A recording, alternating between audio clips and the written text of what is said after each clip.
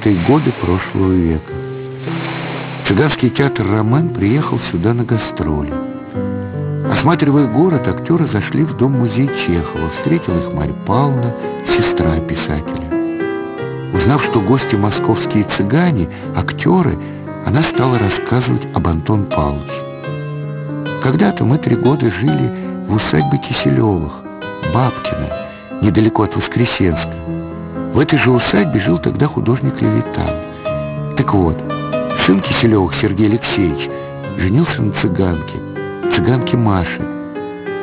Красивая была, яркая, плесунья. Вдруг из группы артистов вышла красавица-цыганка. Марья Павловна, а я дочь Сергея Алексеевича, Надя, Надя Киселева. Марья Павловна бросилась обнимать, целовать Надю со слезами на глазах. Ну расскажи, Наденька, о Сереже, о маме.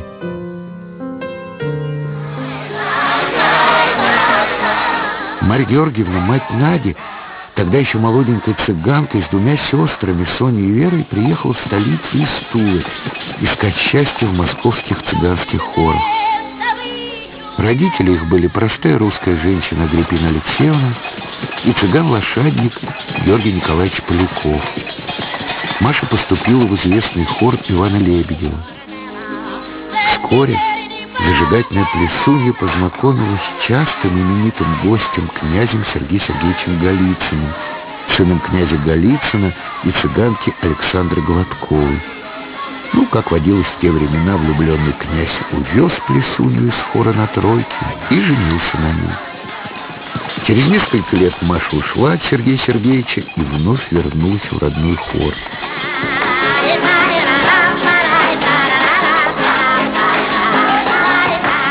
По-прежнему пела, плясала.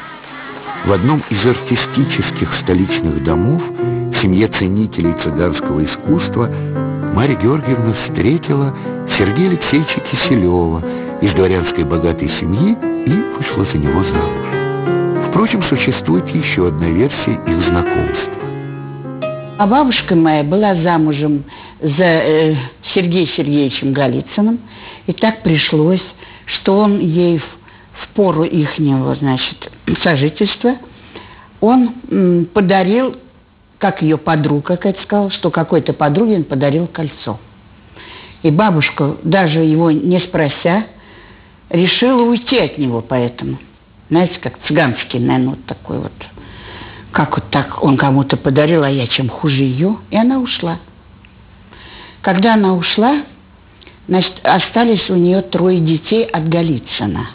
То есть моя тетя одна вот жила в Англии она. Вот. И, короче говоря, она ушла. Она немножко приболела, поехала она на воды. И на этих водах она встретила Сергея Алексеевича Киселева, дворянина, который был декоратором Большого театра. Вот она с ним встретилась, и он ее, видно, очень полюбил, и они сошлись. Вскоре молодые уехали из Москвы в Нальчик. Там в 909-м и родилась смуглокожая девчушка Надя. Потом опять вернулись в Москву. Лето проводили за городом, в имении Бабкина, где несколько лет отдыхали Чехов и Левитан. Плясать Надя начала, как говорили о цыганских детях, раньше, чем ходить. В 13 лет вышла на сцену с цыганским хором Егора Полякова. Это был лучший хор в Москве. Его приглашали в самые престижные рестораны Яр, Стрельну, Эрмитаж, Прагу. Андрей Петрович старости, знаменитый в 30-е годы футболист, вспоминал. В школе я учился с очень привлекательной ученицей, Надей Киселевой. Смуглая, стройная, белозубая, с большими завораживающими глазами, она была нашей школьной королевой. Вдруг среди учеников прошел слух, что наша красавица выступает в ресторане «Арбатский подвал». Мы пошли в этот ресторан на Старом Арбате. В самом деле, среди знаменитых цыганских певиц сидела совсем юная Ляля Черная. Такой псевдоним взяла себе Надя Киселева. Почему Ляля черная? В 11 лет она участвовала в дивертисменте в ресторане э, на Арбате, который так и назывался, по-моему, Прага. Это было в 20-х годах. Участвовал даже Вертинский. Она танцевала, она танцовщица Ляля, она танцевала цыганский тан таборный танец. И мать ее как-то заболела, и она вынуждена была быть при матери. Она зарабатывала деньжата, которые позволяли нормально жить. И э, не участвовала в этом диверти дивертисменте дня два-три. И вот украинский купец подозвал официанта и говорит, а где ця лялька? Он спрашивает, э, как, как понять лялька? Он говорит, ну ляля, кукла, кукла, деця. Он говорит, какая, простите, кукла? Ну, такая чернявенькая выступая у вас, чернявенькая. С тех пор и пошло. Ляля черная. В одном хое у Плякова работала. И однажды, когда там не было кого-то заменить, кто-то заболел, ее выпустили просто. И она всех покорила. Буквально покорила. Моя бабушка рассказывала мне, это э, моей бабушки родная сестра, Софья Георгиевна. Это был триумф, говорит, когда она вышла. Это невозможно было смотреть, это просто. Там люди вставали, кричали что-то, бросали цветы. С хором Егора Полякова Ляля Черная сколесила всю страну. И всюду успех. Гастроли в Тбилиси. Зал дружно аплодирует. Все песни, романсы и пляски, все проходит на бис. Во втором отделении, ближе к концу, выступает Ляля Черная. Совсем девочка, тоненькая, стройная, точеная. На лице большущие глаза, затемненные густыми длинными ресницами. Ляля танцует венгерку. Врожденная пластика, грациозность, красота — все, все волновало, захватывало, проникало в душу. От нее нельзя было оторвать глаз. Вспоминал покоренный Лялей один из создателей цыганского театра «Ромен» Иван Ром-Лебедев. Не только мужчины, женщины влюблялись в Лялю Черную. Ее танец был как песня. Когда закончился концерт, зрители выскочили на сцену, подняли Лялю на руки и понесли по улице. Успех был потрясающий.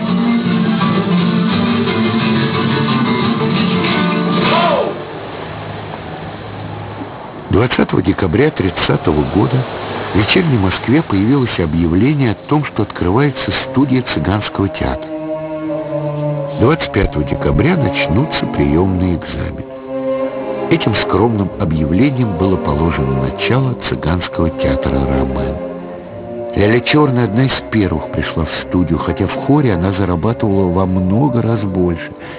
Подвальчике, что в доме 10 по Большому Гнездяковскому переулку, где 25 лет просуществовал цыганский театр, кипела жизнь. Репетировали целыми днями. Приходили кудлатые, глазастые таборные цыгане в отцовских пиджаках, материнских шалях. Как, откуда они узнали об открытии студии, никому, даже цыганскому богу неизвестно, вспоминал Иван Ром-Лебедев.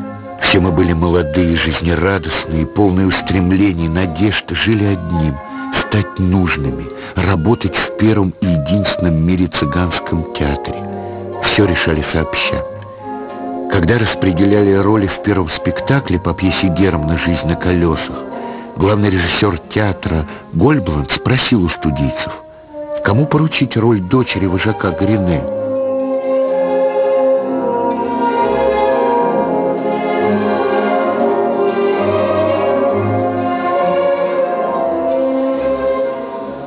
Ляли черный, как один ответили студийцы.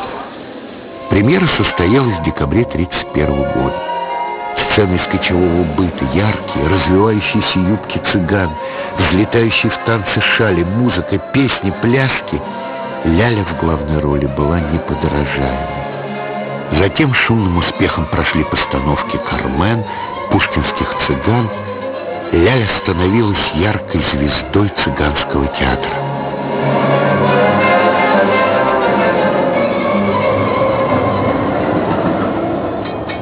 Среди зрителей Ромен было немало знаменитостей. Качалов, Книпер Чехов, Москвин и молодой, но необычайно популярный в Москве Михаил Яншин.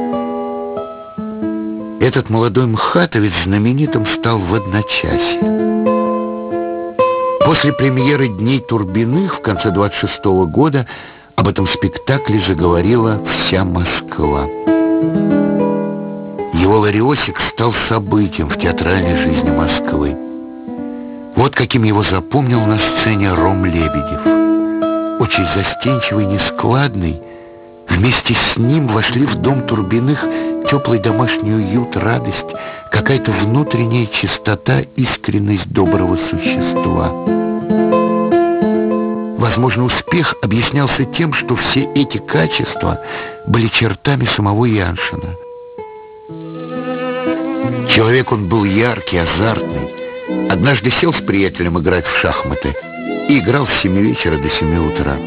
Увлекался футболом и скачками – Среди его друзей были Юрий Олеша, братья Старостина, Владимир Маяковский. Да, он дружил с Маяковским, хотя имел основание ненавидеть его. Последней возлюбленной поэта была неотразимая Вероника Полонская, мхатовская актриса, на тот момент жена Яншина. Это был молодой брак. Полонской было 18, Яншину 22.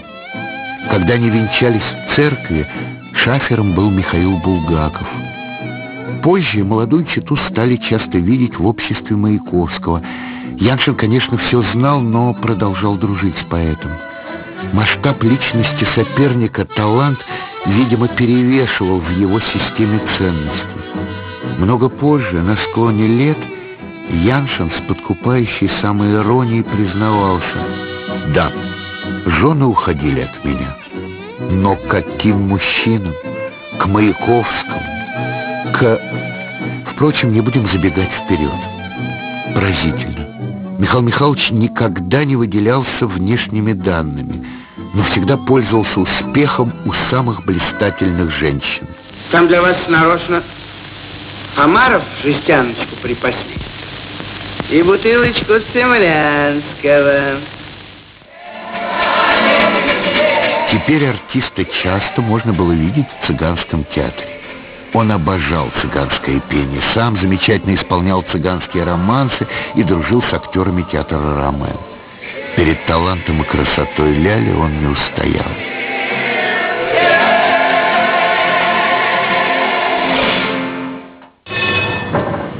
Долгое время я Лялю не видел. Но вот встретил ее на Тверской, идущей под руку с молодым человеком, одетым в клетчатое, рыжо-коричневого цвета пальто. Пара блистала молодостью, яркостью одежды. Оба были достаточно известны, и отдельные граждане восхищенно восклицали «Ляля черная, Яншин». Ляля представила «Это мой муж, Михаил Михайлович Яншин», вспоминал Андрей Старостин. Я смотрела фотографии, когда он играл Лариосика в Неаполе. Он был такой, ну, стройный, юный, с таким открытым, прекрасным лицом. Он был очаровательный, они оба были талантливы, поэтому я не удивляюсь, что талант притягивает талант. Это интересно, это ярко. Чудно, я вспоминаю, как кто-то рассказывал, что однажды у них были какие-то посиделки, ну, это было принято всегда в Москве, и затянулось это до утра, все это было со стихов, с пением романсов, Ляля чудно танцевала, Надежда Сергеевна Киселева, Ляля черная – и затем они вышли на улицу, и они, наверное, конечно, были воодушевлены таким прекрасным общением. И они лихо пошли, знаете, от Страстного туда, к Тверской, Мазуркой вдвоем. Ну, разве это не прелестно? Это была чудная пара. По-моему, они очень любили друг друга. Жили молодые в крохотной комнатке келье в доме на углу Пушкинской площади. Вечерами здесь собирались артисты и художники. Читал что-то Борис Ливанов, Яншин пел свой любимый романс «В тень зеленого старого дуба голосистая птичка попалась». Он так нежно пел, так смотрел на молодую жену, и такой влюбленный взор шел ему в ответ, что думалось, что будто и романс написан о них. Яншин млел, да и мы все млели. Вспоминал свидетель их семейного счастья Андрей Старостин. Это я просто, ну, как бы родилась в этом театре. Мои родители, Варвара Вербицкая и Василий Федорович Бизев, были у самых истоков театра, я как бы родилась, и почему я так все это знаю. И я помню, когда я приходила в зрительный зал, а зал, в зале что сейчас будет ляля, ляля, черная, ляля, черная. Ее ждали, как чудо какое-то появится. И, конечно, вот такое признание к ней пришло еще после того, как они э, она снялась в 1936 году в фильме «Последний табор». Трифовая на одной дороге с тобой стоит. Покою не находит. К берегу прибиться не может. Ой-ой-ой. Что ж делать-то? На храбрость поверни дело. А то упустишь, прозеваешь, не нагонишь. При пиковой неудаче останешься. Голова. Кино Ляля впервые запела. И песню «Бродяга» подхватила вся страна. Шлейне кана бродяга ее продирает салика тайгой Лескирегера Приустали Быстья прикочковов хана засоютя. Тогда много было э, концертов э, сборных и очень хороших. Вот э, Борис Сергеевич Брунов, э, значит, объявляет, танцует ляля черная. Выходит, кланяется, зал стонет, просто ревет от счастья. Надежда Сергеевна вышла э, к краю сцены и делает только так. Раз, не видно, что ногами, но через доли секунды она раз и в центре зала уже. То есть, то ли это прыжок такой был какой-то удивительный. Зал встал, конечно. В общем, принимали ее потрясающе, и весь зал потом, не смолкая, кричит «Ля-ля, спой! Ля-ля, спой!»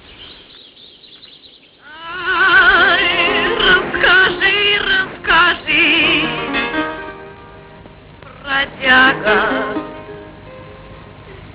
чей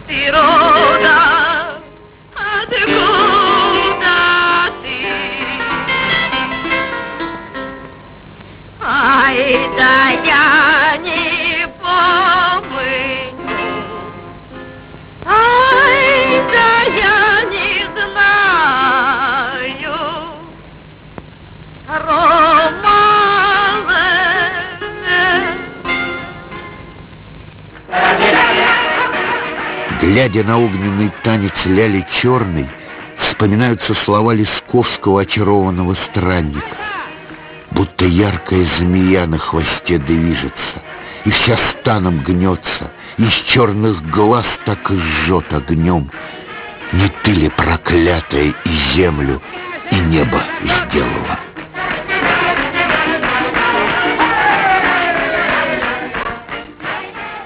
Как-то ездила она гастрольной поездке и заметила из окна на какой-то станции э, та- табор. И стоило ей появиться в этом таборе, как произошло что-то невероятное. Они кричали «Царица наша», «Королева наша» и так далее, и так далее. Она еле-еле успела э, на поезд. Это я вспомнил, потому что я сам связан с такой же, такой же историей. Я ехал вместе с моим партнером Геннадием Дудником э, в концертной поездке. Ехал я, э, по-моему, я не помню точно станцию, по-моему, в Кутаиси мы ехали, да. И я отстал от поезда буквально на одну секунду, я уже не мог догнать его. И, э, значит, пошел к начальнику станции и говорю, что делать? Он говорит, я понятия не имею. Говорит, поезд следующий через сутки. И потом я пригляделся, смотрю, метрах в двухстах цыганский табор. Я пошел туда. Я говорю, что вот я знаком э, с Лялей Черной. Он говорит, да, сразу ко мне интерес. Я говорю, вот интерес, что мне делать? Я говорю, у меня концерт завтра в городе, в Кутай, я еду да, в Кутаиси. Я говорю, я остался без вещей вот в одной пижаме. Он говорит, тут королева наша, царица, сейчас, минутку. Достали мне э, обувь, костюм какой-то на меня напялили, часы мне дали, остановили какую-то машину, по-моему, ЗИМ, какой-то старый драндулет был уже разбитый. И меня отвезли в Кутаиси раньше, чем пришел поезд, я появился там. Приехав в Москву, Вестник рассказал эту историю Ляле. Пойди на телеграф, отправь им две тысячи и напиши. Большое спасибо. Через день эти две тысячи пришли назад с припиской. Как тебе не стыдно, королева наша?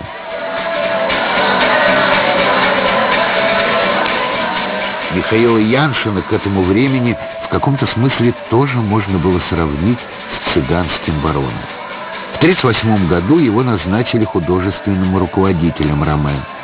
Творческая атмосфера изменилась. Мхатовцы взяли шефство над театром, внушали. Чтобы ставить Толстого Шекспира, надо учиться. Актерам читали лекции по истории искусства, хотя те и роптали поначалу учиться, дескать, не цыганское дело. Изменился репертуар. Советская идеология пыталась представить цыганскую вольницу как ячейку коммунистического общества. Но Яншин увлеченный поэзией Гарсия Лорки, предложил театру иную философию. Цыганская воля как следование за природным началом. Кровавая свадьба с Лялей черной главной роли явила новое лицо театра. Потом была чудесная башмачница. Когда в Сухуме тяжело заболел исполнитель главной роли в этом спектакле, Яншин сходу заменил актера и блистательно сыграл в дуэте с Лялей. Я думаю, что изюминка ее дара состояла в том, как я вот говорила ранее, что Бог ее сотворил такой яркой, выраженной индивидуальностью. Эти огромные глаза, как звезды. Вам звезды посылают лучи. Понимаете, так она посмотрит. Пластика это. Плюс, конечно, школа.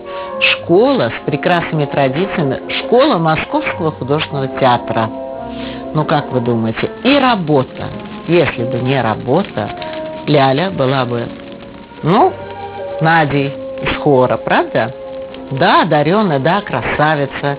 Но у нее было развитие таланта, потому что человек работал с такими прекрасными большими артистами рядом. Жить это тоже работа, я считаю. Жить талантливым человеком с талантливым человеком это тоже работа души бесконечная. Вы понимаете? И если говорить о стихийности, да, стихия в ней присутствует, это гены. Но вы знаете, что национальность – это национальность, правильно? Это не профессия. А у нее-то она была профессионалка, поэтому это, конечно, работа. Работа и влюбленность в свою актерскую профессию. Она могла, она хотела, и она состоялась. В мае 41-го театр уезжает на гастроли по стране. Наступило трудное для всех время. Бесконечные переезды театра из города в город – выезды на передовую Южного фронта, обстрелы. Но романовцы играли, репетировали, выпускали новые спектакли. Возможно, для цыганского театра вынужденное военное кочевье ложилось на естество бродяжьих душ, и легче им было, чем прочим.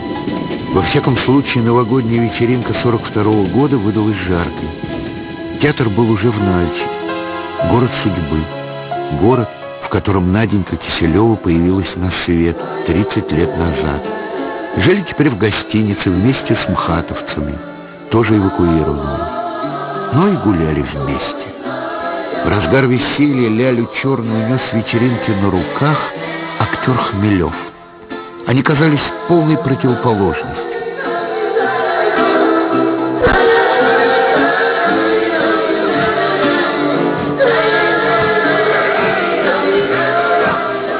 Николай Хмелев, гордость МХАТа, с виду был суровым, замкнутым, суховатым.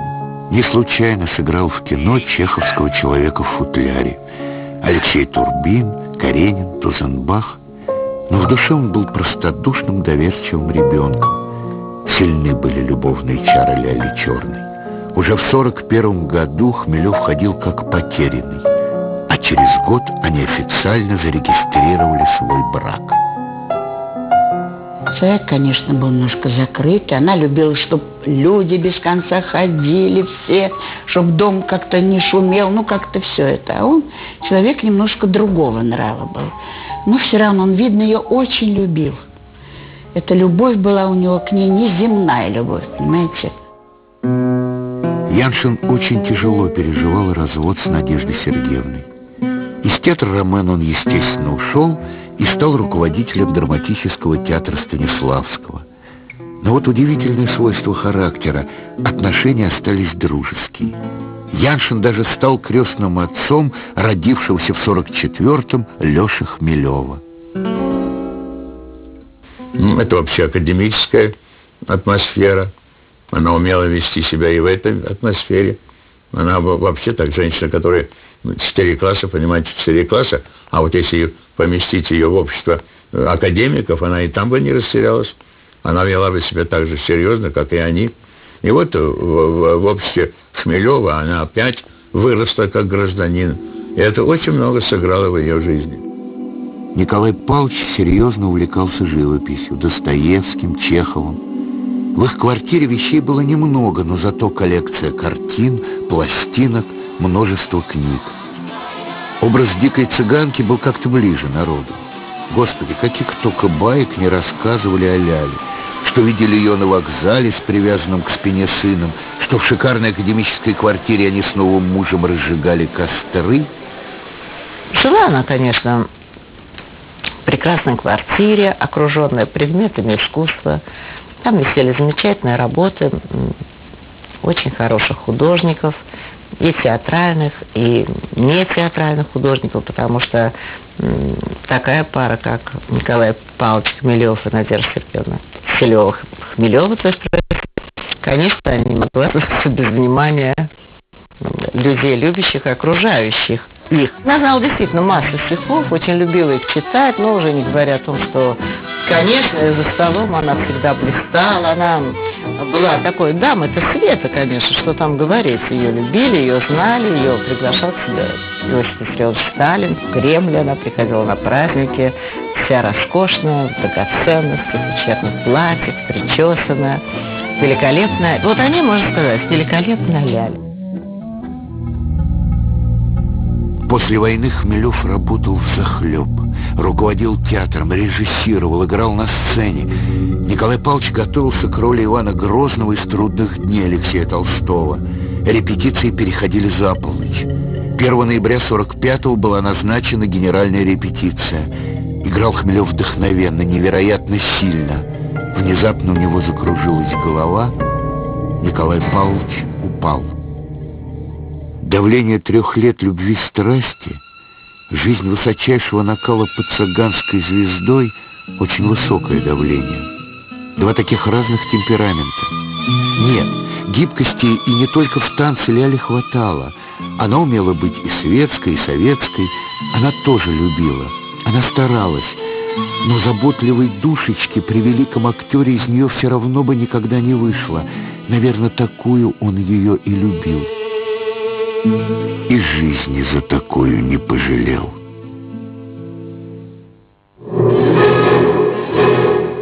Ляля примчалась в театр. Узнав о случившемся, подъезжали родные и друзья. Толпились в ложе, куда положили Хмелева. «Вставай, Николка!» — рыдала Ляля. А на сцене начался вечерний спектакль. Давали мертвые души. Зрители смеялись, ничего еще не зная о смерти Хмелева. Ляля рыдала в голос над телом мужа. Тогда актеры на сцене стали форсировать текст, чтобы как-то заглушить цыганский плач, который становился все громче, все отчаяннее. Ай, да я не помню. Ай, да я не знаю.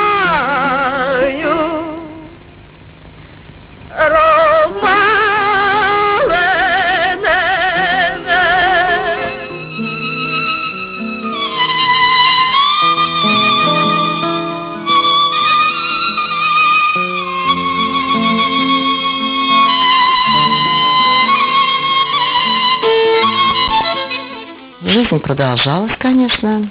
И как я помню, что через какое-то время они опять стали вместе с Михаилом Михайловичем Яншиным.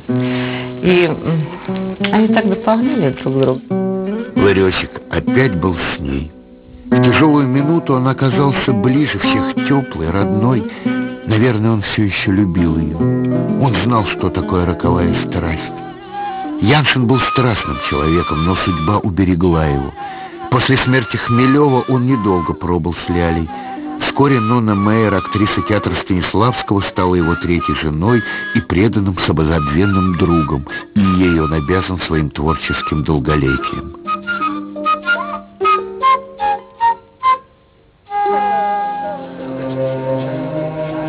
После войны Ляля сыграла свою лучшую роль – Грушеньку в Лесковском очарованном страннике. Москвичи шли в театр на Лялю черную. Спектакль сыграли тысячу раз с неизменным успехом. Ляля черная, да. И, кстати, сегодня идет спектакль «Грушенька», где когда-то я начинал с ней как партнер, мальчишка лет, лет 17, может, 18 мне было. Она уже была, так сказать, знатным человеком, актрисой, после, особенно после фильма «Последний табор». И она сыграла роль очень интересно, очень интересно. И вот она загремела как-то так, все услышали, ля-ля-ля-ля-ля-ля, черный. Представить себе невозможно. Ноги тряслись, руки тряслись, но брал себя в руки с такими партнерами.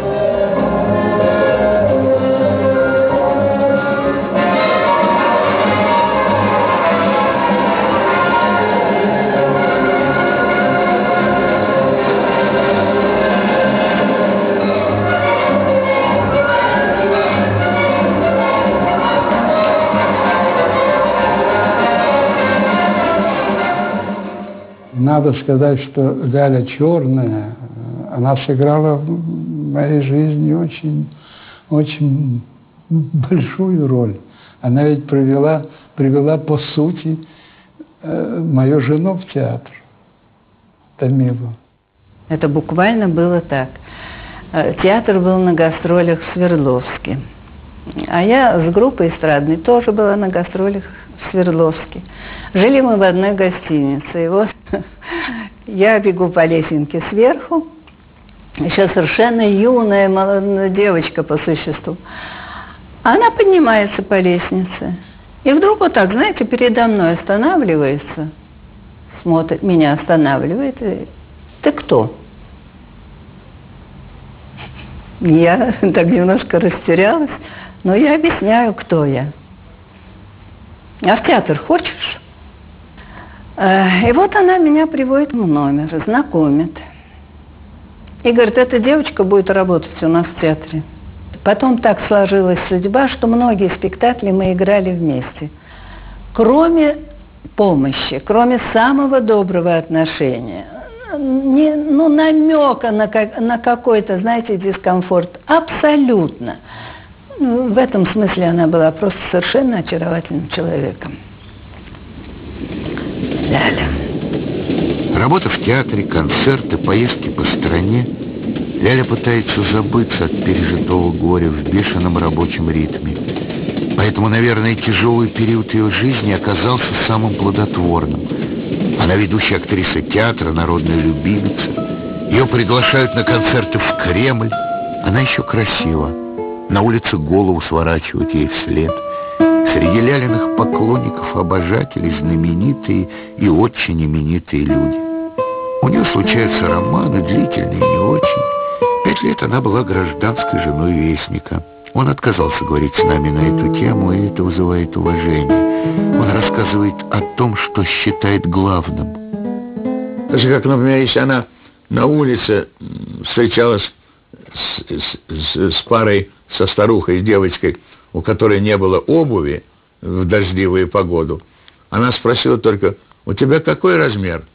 Она назвала, по-моему, 32. Она сняла себе с туфли, говорит, на тебе, носи, дорогая, и шла по улице Горького домой э, босиком. Могли прийти какие-то люди совершенно чуть. Она готова была все, что есть, собрать и отдать им. Вот накормить их, отдать, все. Писали письма какие-то, что купи мне, допустим, там, лошадь, какой-нибудь цыган пишет, или купи мне еще что-нибудь. Мы всегда смеялись с ней. А у нее самой порой денег даже не было. И такие моменты были. Но когда были, она все раздавала. Все, абсолютно. В конце 50-х годов ситуация в театре стала меняться. Пришло новое руководство. Ляля Черная оказалась почти не занятой в новом репертуаре. Все больше времени она проводила в разъездах по стране с концертами. В начале 70-х Ляля принимает для себя важное решение расстаться с театром. Опять разъезды, концерты, съемки в фильме «Табор уходит в небо». Не пугайся меня, Луйку. Не пугайся. Я-то, я-то была красивей твоей Рады, да, Лолы? Вот наберу трав, и тогда к ним туда поеду. Травы перед смертью, милый мой, ядом наполняются. Звезда. Настоящая звезда была то удивительная в какой-то яркости не, необыкновенной. Просто необыкновенной. Она мне напоминала какую-то красивую птицу.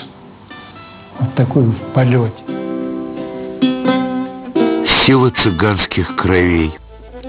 Казалось бы, что в Наденьке Киселевой, дочери русского дворянина и полукровки цыганки Маши, всего-то четвертушка этой крови, а несла в себе как жизненную мощь, так и гибельность вечный Кармен. Это на все времена. Соблазн невозможной свободы, щедрый, чарующий, разрушительный. Все суета, все суета. Последний концерт она дала в Театре эстрады за год до своей смерти в 1981 году. В этот год Роман отмечал свое 50-летие. Многие артисты получили звание заслуженных, народных. Звание народной она не получила. Она была ею, настоящей народной артисткой.